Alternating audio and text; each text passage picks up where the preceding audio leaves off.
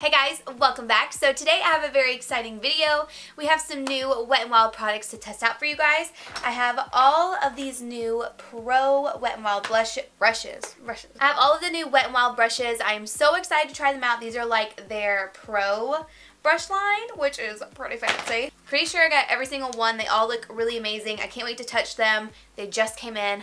I ran upstairs took a quick little body shower, so my hair is a mess, and I wanted to film this for you guys. So I also do have the cushion foundations that we're going to test out today just to do a first impression on. I do have concealer. I think this one's going to be too dark for my under eyes.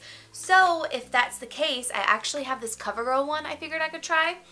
And then we have some new eyeshadow palettes. Super exciting stuff from Wet n Wild. I can't wait to share it with you guys today. If you guys aren't subscribed already, be sure to hit that subscribe button down below. And if you want to see how all these new Wet n Wild products work, and if they're good, let's just go ahead and get started. Alright, so I've already primed my eyes. I'm like really antsy to dig into these products because I've been waiting on them forever. Like, I ordered these, I believe, the day after Christmas and I just got them. I have this little eyeshadow palette that looks like a nice staple. It's called Hooked on Vinyl.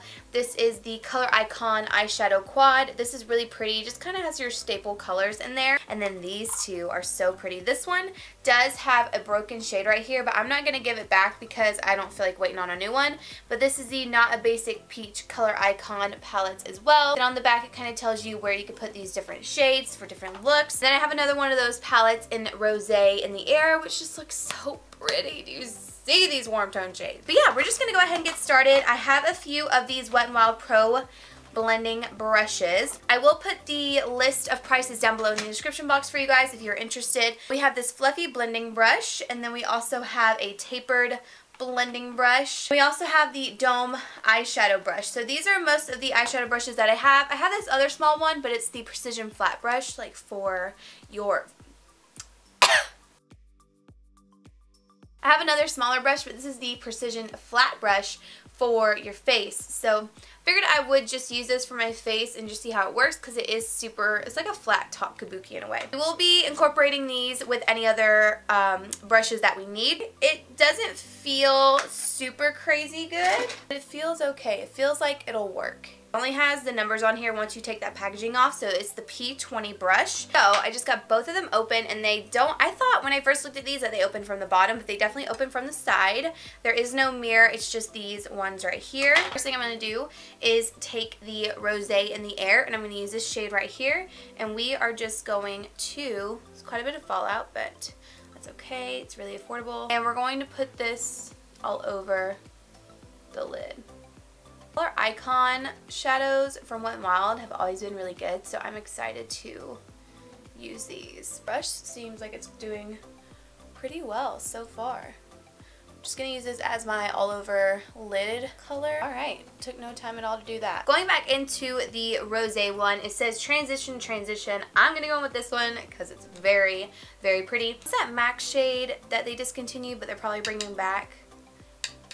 I had it too. Everybody loved it. This That's what this one reminds me of. So I'm going to take this on the brush and I'm going to blend this into my crease. So we're just going to blend. And I'm adding just a little bit more, like a little bit lower in the crease. Just so it's nice and pigmented. I'm going to lightly bring the brush up and fade out that line. I think that looks pretty good. Bringing it all the way in the inner corner as well, just doing circular motions. Again, really building that color in the crease, and then I will bring it up to fade it towards the brow. I also think these brushes are really sleek and nice. They have a, is it rose gold? These are kind of like a rose gold. I don't know. I don't know. I'm not like a rose gold expert, but they look rose gold to me. They're really pretty and they have like a tapered end, so I love that because you can store them really easily. Sometimes if brushes have a thick end, they're like a pain in the butt to store. So I know that's a first world problem, but it happens, okay? Now what I want to do is I actually want to go into this Not a Basic Peach and take this really, hello, really warm tone shade right here. And I'm going to use this other brush, which is the Wet n Wild Tapered Blending Brush. So this one's just more tapered, not as like fluffy as the other one. Okay, so the number on here is P15. This is what it looks like. Again, taking that really pretty orange Wow. Do you see that? I'm going to put this right into the crease. I'm not going above that transition shade. I like this has a lot of bristles, but it's not too tightly packed. But they're tight enough to where they're a really great shape and they just fit right in the socket. I like this brush a lot. I will definitely be using this one. I will use this for majority of like cut creases, blending them out, putting specific colors into my crease. You have a lot of control, but it's still blending and that's what I love about it. I'm going back into the Rosé in the Air palette, yes, and I'm going to use this color and I'm going to bring this one right here in the outer V and blend it about halfway on. Look at that color. My gosh. That is so pretty for a drugstore eyeshadow, you guys. What in the world. That is so pretty. Okay, I'm to go back in with this fluffy brush and I'm actually to take the really intense orange that we used and use this to really focus this directly into that crease as well since this other brush that we have has most of that like magenta shade on it.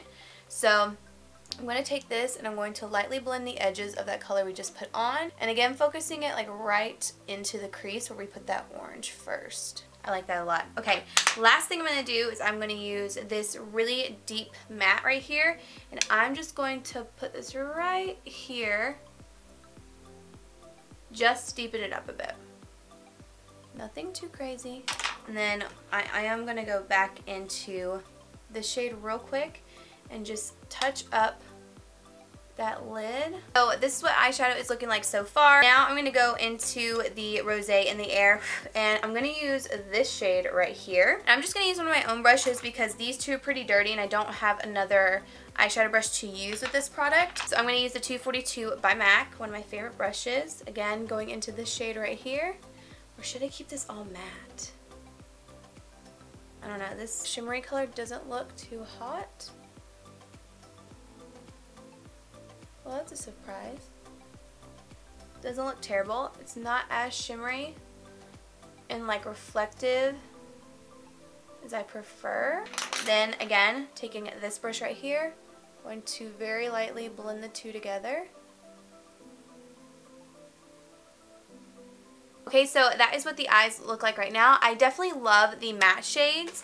I think the matte shades are really beautiful. The shimmer, eh, so far, not necessarily my favorite. Now I'm going to use this Wet n Wild Skinny Eyeliner. It's really small. it's the Mega Slim Skinny Tip Eyeliner in black. I do really like the Skinny Mascara, so we will see how I like this. Oh my god, it is so... Do you see how tiny that is? It's, that's big! Okay, so I'm going to go in. Well, it's really black.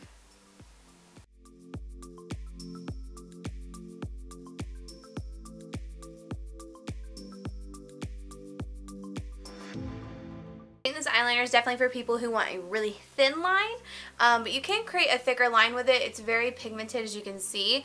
I just don't, I feel like I don't like it because it's so short, so it's kind of hard to just like flick your wing liner. I do like that it's so small because it is so precise.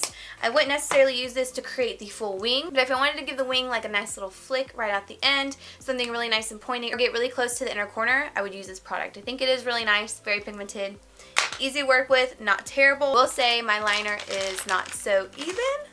So, so I'm gonna fix that. So I just applied my lashes, lash glue still drying and all of that. I did prime my face. I used the Smashbox Primer Water and then the Soak, Soak and Glory and then the Soap and Glory One Heck of a Blot Primer as well. We are moving on to new foundation. This is the Mega Cushion Foundation from Wet Wild SPF 15. It says it contains natural coconut derivative, it's a liquid foundation in a cushion compact, luminous, lightweight, and buildable hydrating formula. Have two shades here. I have Nude Beige and Buff Beige, and we are going to see, I think I'm going to be more Buff Beige because I'm pretty self-tan right now. So, the way this sponge feels on the back of it does something to me and I don't like it. So there is a mirror in here. It has a little film on it. I'll just leave it there for now. And then it does have the cover protector. So we're just going to open that up and I feel like this is going to be my shade. So we'll just go with it, see how it works. I'm going to be honest with you, I'm not using this product.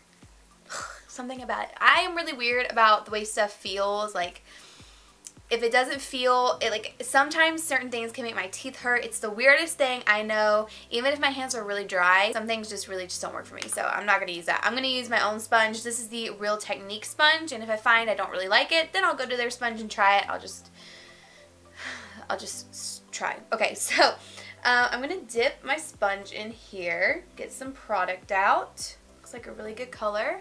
And we're just going to apply this to the skin feels really good. With this sponge and this foundation, feels nice. Smells good too, it smells clean. So I did use a mattifying primer. This is pretty dang light for me. I thought it was to be darker. Even on the packaging it looks pretty dark. But it'll be alright. We'll bronze. But it has pretty good coverage so far. I'm just to do one side of my face first. And then I'm to show you guys before and after. And then what I'm to do is do the other side, kind of let this dry a little bit, and then go on top of it to see if we can build it up. So, this side's without, this side's with. I think it looks really good minus the color being off. Nude beige is definitely lighter than this one, so I'm just going to stick with this. But I think it looks really good. It definitely is very luminous, which makes me nervous having oily skin. But we'll see how it looks when I set it and all that kind of stuff. We are very, very, very dewy. We look like the highlight that I put on my body right now. I'm going to see if I can build up on this cheek really quickly. I need to also get more on my nose. My nose is like one of the hardest places for me to get good coverage because I don't know why, but sometimes foundations just don't want to cover on my nose. I look like with this foundation right now that I've been sweating my life away. I look like this wet highlight. Look at this. That is very shiny. Okay, so it's really not covering up my redness that well. I would, so I will say it's more of like a medium to full coverage, just depending on stuff that you have on your skin. It could be full coverage for you, depending on what you need to be covered. But I feel like the more you try to build it up, the less coverage you get. I wouldn't build it up, that's just me. Um, this is definitely off the bat not something I would use in the summertime because it is so dewy. But what I'm going to do is I'm going to put some concealer on. I'm going to actually use this new concealer from CoverGirl because I really feel like that Wet n Wild one is just going to be way too dark. This one's in the shade Fair and it's a new one with vitamins E, B3, and B5. It has really nice packaging. I know this is a Wet n Wild video, but it's all drugstore, so.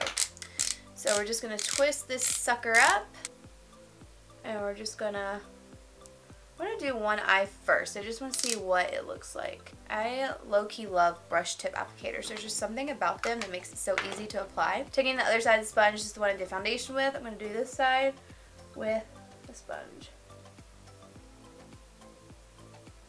Did apply this concealer pretty far down to help conceal some of that redness. It's nice, like it's covering and it's really brightening, but I just need a little bit more coverage, especially because my redness is peeking through right here. So I am going to take Tarte Shape Tape in Light Medium Honey, and I'm just going to put it like right here and blend that out. Okay, so there we go. We have more coverage now, covering up that redness. Now I want to try the CoverGirl concealer with a brush. I'm going to use this Precision or foundation brush from Wet n Wild for concealer. This is really cool. It has like a dip in it. Can you guys see that? There's like a little dip right in here. Very soft brush. These look really nice. Yeah, this is like pokey. It's poking my eye out. Yeah, I don't really like the CoverGirl concealer for me. That's another reason why I don't use cushion foundations a lot because I like full coverage. I like it to stay and sometimes when you start blending things on top of the other, things just start moving and like the foundation's moving. This concealer is a mess. So I'm going to take Tarte Shape Tape and just do the other side as well. I'm actually going to take my Peach Perfect powder from Too Faced, my Real Technique sponge I'm using again. So I'm going to take this Precision Pro flat brush from Wet n Wild. And I'm actually going to hit the inner corners real quick of my eyes um, where the concealer is. I think that's what this brush will be perfect for. Getting right in there. Next up, I'm going in with this large powder brush, Wet n Wild. So far, I'm really liking these brushes from Wet n Wild.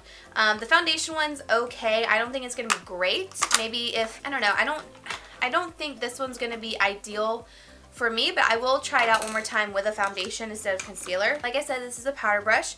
It's like a tapered powder brush. And I'm just going to... Ooh, I like this. I like this brush. I like the shape of it. I even think it'd be really great for bronzer.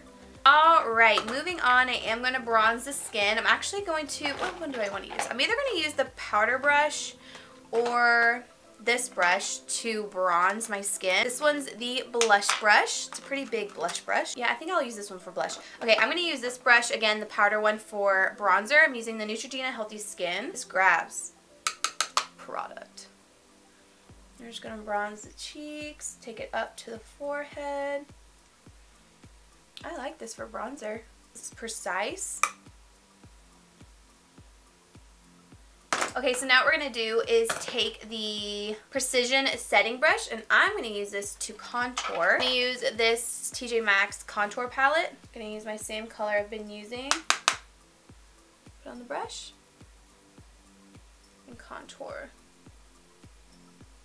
Ooh! This is a good powder, but this brush just really diffused that and blended it out. I love the way that contour looks right there. Like, it's pretty dramatic, but that's why I love it. And now we're going to go in with the blush brush, and we're going to use the Burt's Bees blush in the shade Bare Peach. I would almost use this one for foundation instead of blush. Again, you can use brushes for whatever you want. Okay, so that's good. I don't mind it for blush. It wouldn't be something I would want to use with a super pigmented blush like the Anastasia ones because it would grab too much product, but it is really nice. And now I'm going back into this palette and I'm going to use the setting brush, or I'm sorry, the tapered highlighting brush, which looks really, really nice. It's not like one of those flimsy ones with barely any bristles on it. This looks like a really good brush. And I'm going to dip into my highlight.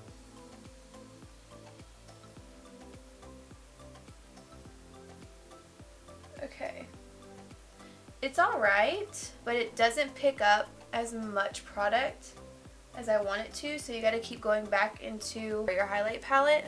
But it's nice. Gets the job done. I will say I kind of like this brush better because it's not like a line. This brush the Anastasia one kind of diffuses it out. I might even use this for eyeshadow, just like all over lid colors. I won't be using this for highlight, but I will be using it for probably eyeshadow. I have two more brushes left, and I have this flat contour brush, which we did not use today, but I do want to see. I didn't get a liner brush or something. I must not have gotten all the brushes if I didn't get like a liner eyebrow brush. Okay, so this is what the contour brush looks like. I think it's pretty standard contour brush. The Wet n Wild Pro brushes, they do have like finger indents, which is nice. I'm going to just see what it looks like. I'm not going anywhere, so we'll just see how this works. This is a pretty stiff product.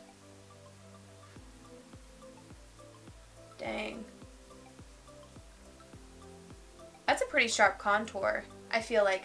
It does apply a lot of product right when you press it down, so you really got to work to blend it, but I do think I prefer this one because it gives you a dramatic contour. But It really blends it out nicely where it's not like super dark right here and then like right now it's looking really dark everywhere but that way it's not super dark here and not really blended up a little bit towards that cheekbone. I also have another brush that I'm quickly going to show to you guys. This is the Dome Pencil Eye Brush. I use these kind of brushes for underneath my eyes to blend out color. So that's what I'm going to do today. Go into the Rose in the Air Quad. Take that transition shade that I love so much, this one right here, with that pencil brush. And I'm going to blend that out.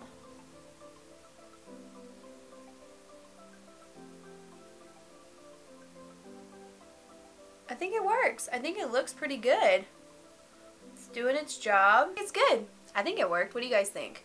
I have a really smoky under eye right now. I need to put on some liner. I'm going to finish up my liner and my brows and my lips and I will be back to wrap up this video for you guys. Okay, so my makeup is done. The lip that I have on is the Smashbox Liquid Lip in Out Loud. But anyway, so I'm going to quickly tell you guys what I think about everything.